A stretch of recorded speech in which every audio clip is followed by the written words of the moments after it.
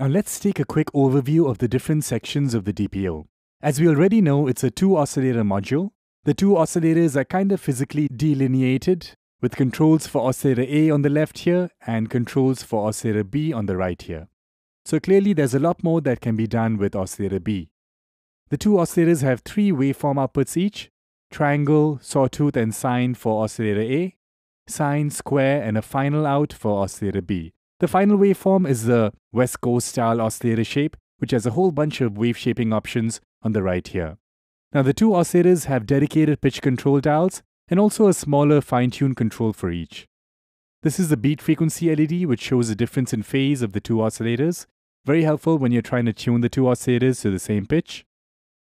At the bottom you have the standard 1 volt per octave CV controls for each oscillator. So connect the pitch CV of your keyboard here to play the oscillator or plug the pitch CV from a sequencer here to create melodic patterns. There's this interesting follow feature which can make oscillator A track oscillator B's pitch. You can get some interesting glide style effects, or even just use it to make sure the two oscillators' pitch are just better in sync. Keep in mind, this is not the hard sync concept which is implemented separately. There's also a CV input to externally control the follow amount.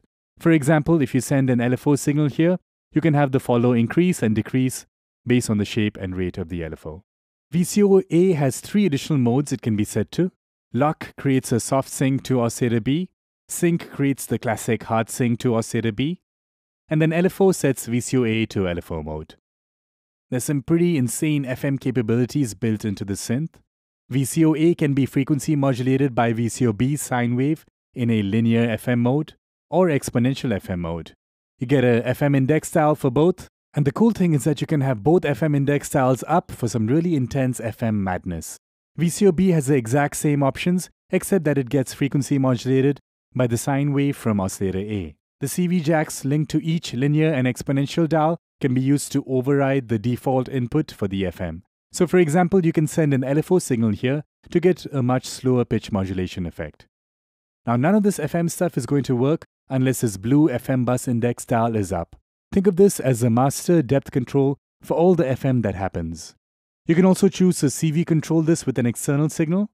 This white dial here is an attenuverter, which can be used to attenuate the external signal and even invert it. Now we already know oscillator A has the three modes. Oscillator B does not have that, but there is a signal input for soft sync with the X-Lock jack here. So you can take any waveform out from oscillator A, plug that here to get a soft sync sound.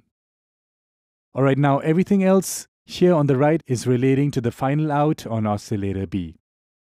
This is where the West Coast style synthesis comes into play. You get three controls to tonally shape the sound of the final waveform, shape, angle, and fold. We will look at all three controls in detail later on. The blue dials on each section controls the various shaping options. The white dials in each section is to control the amount of modulation of those parameters. By default, Oscillator A's sine wave is normaled to modulate the controls, but you can plug an external signal in the jacks here to override that oscillator A sine signal. Now just like the FM section, you have a mod bus here, which controls the master modulation amount. It too has an attenuverter. So if you want modulation of any of the three sections, shape, angle, or fold, then you have to have this blue dial up. Think of it like a master modulation depth for all those three sections. Now, even that can be modulated with the attenuverter below and whatever signal is input to the index jack. By default, it uses the sine out from oscillator A as the source to modulate the three sections, but you can insert any signal into the external source jack to override that. Okay, so that's a quick overview of the different sections of this module. Now, if this didn't quite sink in yet, just watch the video a second time before moving along. Trust me, it will help and the rest of the course will be a lot easier to digest.